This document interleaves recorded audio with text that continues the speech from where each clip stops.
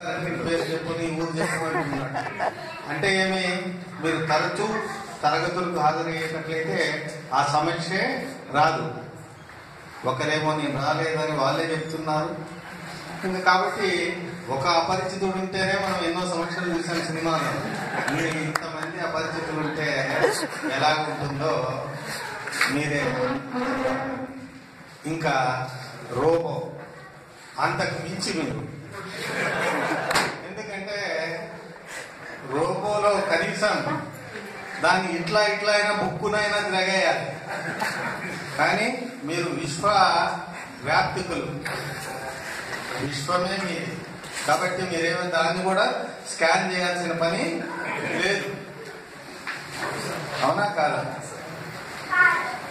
ఇప్పుడు మన ఆదరణ కృష్ణ రామకృష్ణ గారు ఉన్నారు. వాళ్ళు ఎంతో ఒకప్పుడు అది అడవి ప్రాంతాన్ని చేస్తే కానీ అది రాలేదు. ఇంతకుముందు శ్రీధర్ గారు అంటున్నారు potential you have the potential means you have capacities to come up కాబట్టి రోబో కంటే మించిన వాళ్ళు అంటే అదేదో గొప్ప ఇదే అని కాదు.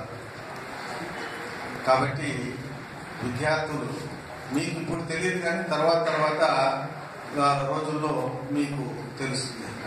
ఒక పక్క సామాజిక కృషి విద్యార్థులైతేనేమి గ్రామీణాభివృద్ధికి చెందిన విద్యార్థులైతేనేమి మీరు నేర్చుకోవాల్సింది తరగతి గదిలో. ఇంతకుముందు ఎవరో ఒక ఆయన అన్నారు మాటల మాటల మాంత్రికుడు సార్ కరెక్ట్ అది కూడా.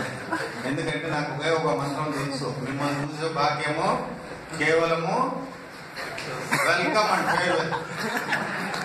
కాబట్టి నేను మంత్రం వేసేసాను కాబట్టి మురునారాయణప్ప కూడా ఇటుకలపల్లి పోలీస్ స్టేషన్లో పోయేసి సారు మంత్రం వేసిన దాని వల్ల విద్యార్థులు రాలేకపోతున్నారని నా పని కేసు కూడా పెట్టేస్తారు.